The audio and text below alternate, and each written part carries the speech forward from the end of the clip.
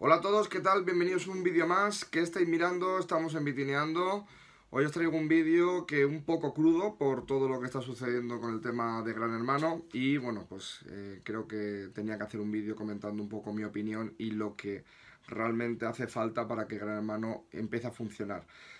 A pesar de todo eso y de que soy de gran hermano de la 15 edición, eh, quiero decir esto y todo lo que voy a decir lo voy decir desde el punto de vista de fan, del televidente, de la audiencia, ¿vale? No desde el concursante y demás, aunque algunas cosas, eh, como comprenderéis, pues es inevitable, ¿no? De que, de que tenga que decirlo como concursante, ¿no?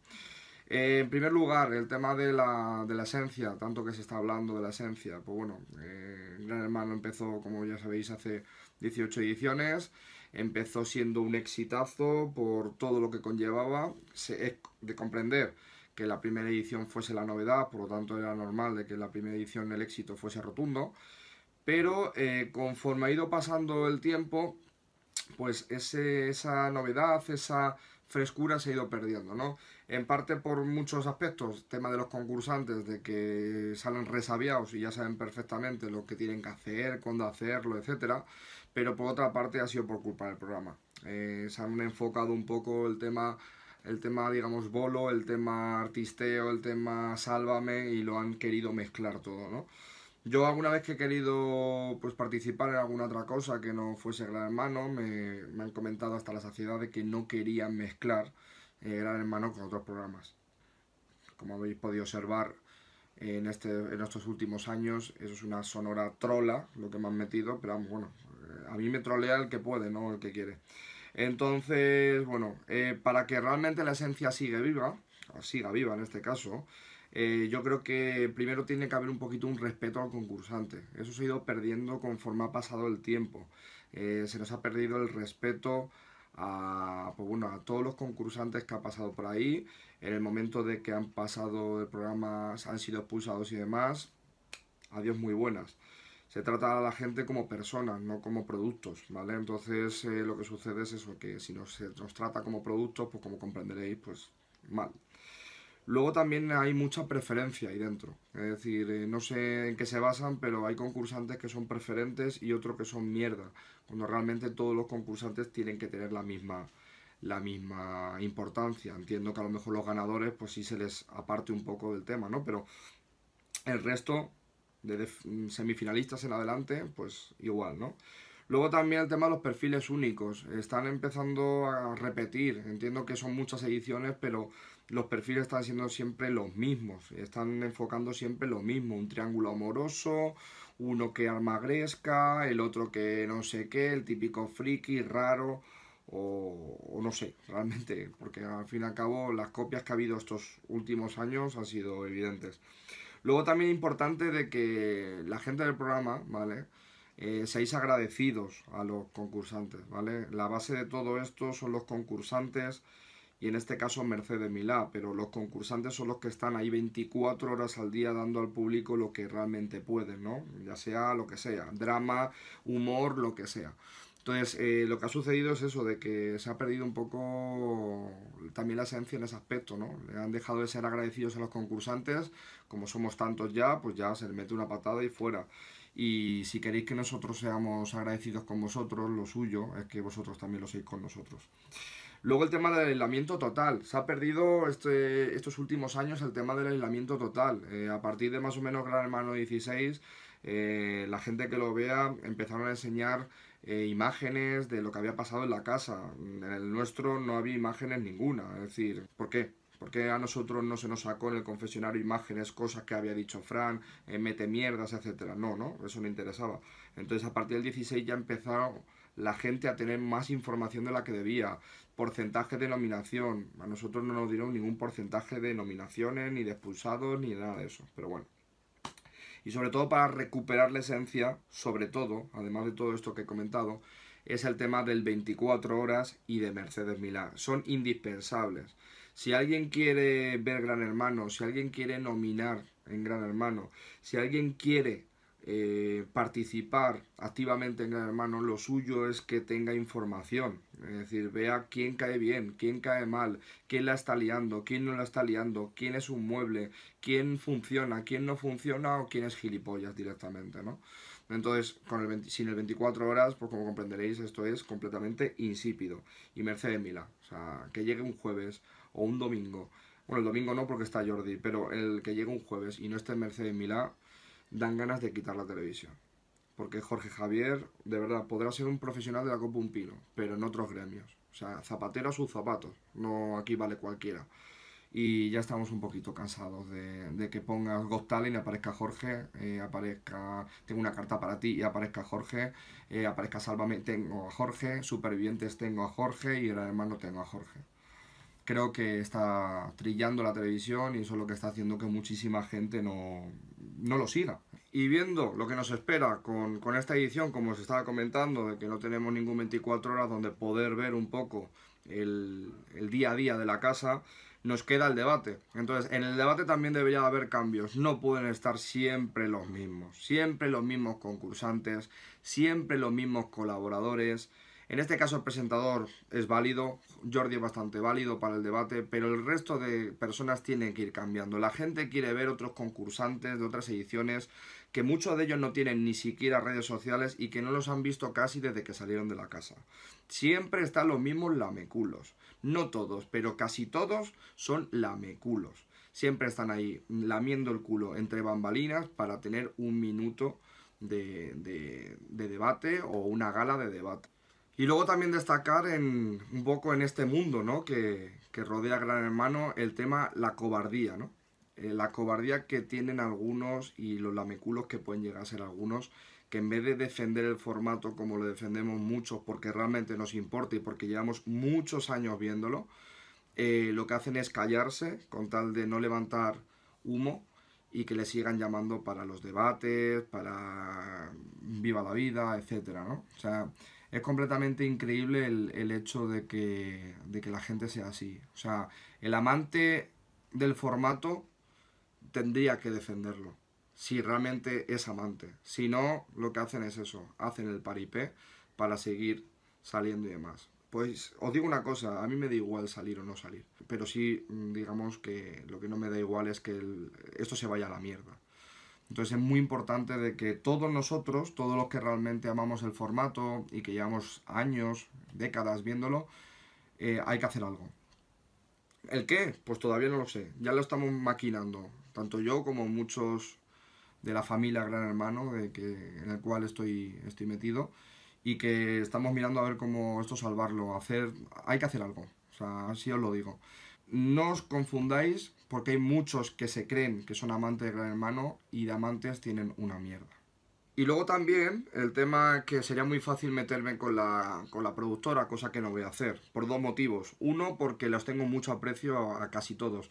Y dos, porque hay muchos profesionales ahí dentro que dan la vida porque todo esto pueda ser posible. Por eso yo con la productora no me meto, ni mucho menos, eh, porque realmente a mí me han tratado genial, de lujo, y al César lo que es del César. Ahora bien, siempre hay excepciones como todo. En este caso, Pepa, la, directora de casting, es la única igual que conmigo se ha meado fuera.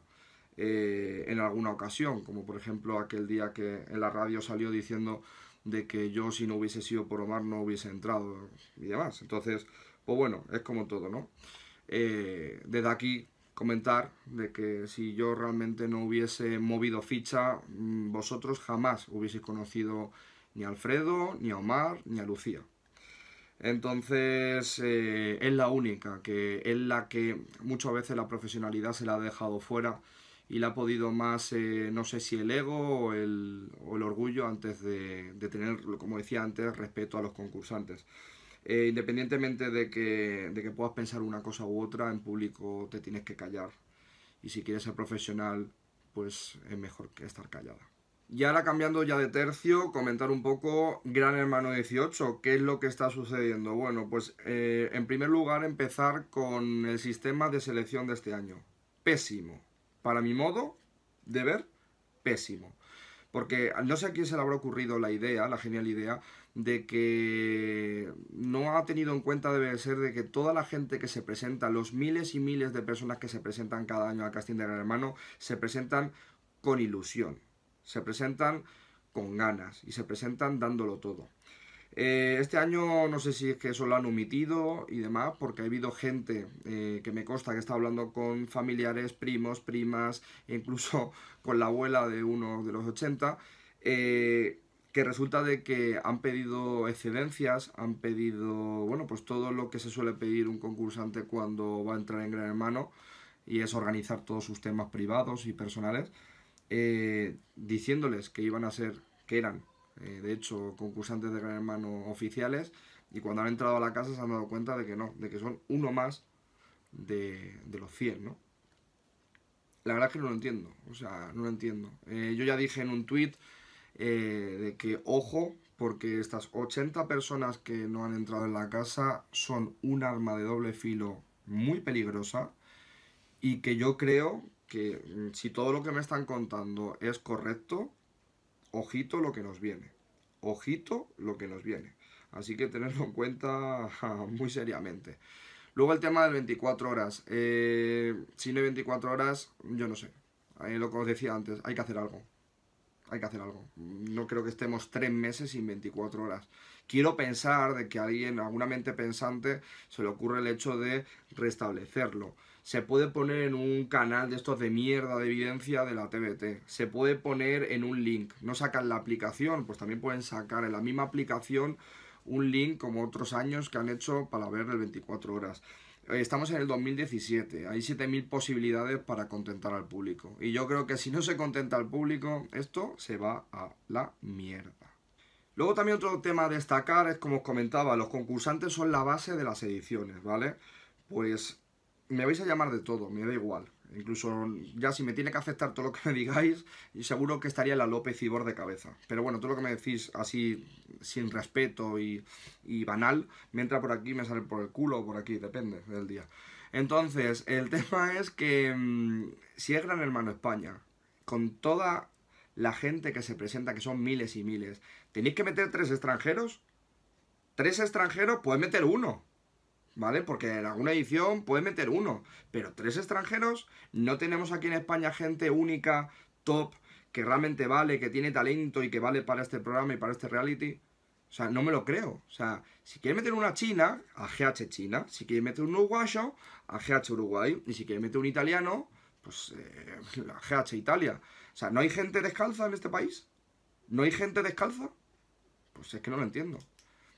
No, es que no lo entiendo. Entonces, eh, abogo, ¿vale? Luego me llamaréis racista, me llamaréis lo que os salga de ahí, pero es que en toda la gente que se presenta creo que tenemos gente de sobra para llenar un gran hermano entero de gente española o nacionalizada en, un momento dado, pero gente española. Y ya para finalizar, pues comentar, eh, bueno, un mensaje realmente a los 80 que no han podido entrar, comentarles que, bueno, yo personalmente estoy con vosotros, todo lo que necesitéis, eh, dudas, etcétera, eh, me podéis preguntar si alguien necesita algo, si alguien necesita eh, no, desahogarse, que tampoco soy un psicólogo, pero, pero bueno, si alguien necesita en algún diverso momento dado pues tener algo de información o lo que sea, tenéis mis redes sociales abiertas para todos vosotros y bueno, realmente comentar eso, a la gente de arriba si le llega esto, por favor, cambiar esto, esto no va a ningún lado. Esto no es gran hermano. Por favor, cambiarlo. Tenéis las herramientas, tenéis el presupuesto que tantos años lleváis ganando. Tantos mensajes, esa millonada creo que tenéis de sobra para poner un 24 horas y para pagarle a Mercedes lo que realmente pida. Porque no creo que pida mucho más de lo que se está llevando Jorge. Entonces, por favor, contentar a la gente, contentarme a mí como también televidente. Yo me gusta los jueves ver Gran Hermano. No me gusta ver Águila Roja o la película de 13TV. No, quiero ver Gran Hermano. Y los domingos quiero ver un Gran Hermano de verdad. Quiero ver un gran hermano real. Dejaros de estereotipos artificiales. Meter gente auténtica. Meter gente de, de la calle. No resabiados que ya se saben todo y saben cómo funcionar. Si están buenos, meterlos hombres y mujeres y luego que hagan los bolos que les haga de los cojones. Gran hermano es mucho más. Así que por favor, si a mí y al resto de la eternidad de la gente que se está eh, exhibiendo en redes sociales y manifestando en redes sociales con esos hashtags que están poniendo, por favor, cambiar el chip, estéis a tiempo. De vosotros depende de que esto vaya para adelante o se vaya a la mierda. Así que solo quiero pedir una cosita y es que comentéis este vídeo todo lo que queráis, bueno, malo, regular, llenarme el cajón de comentarios hasta arriba, eh, críticas constructivas, cómo lo cambiaríais vosotros, qué haríais para cambiar esto, qué, eh, qué pondríais, como si fueseis un ejecutivo de, Gran Hermano, ¿vale? ¿Qué haríais? Si no queréis ver el vídeo, no lo veáis, pero por favor, quiero que participéis de esa forma proactivamente y que realmente eh, quiero saber todo lo que pensáis, todo lo que opináis, ¿vale? Así que nada, nos vemos en los futuros próximos vídeos, muy pronto. ¿Y qué estáis mirando? Estamos en Vitineando. Adiós.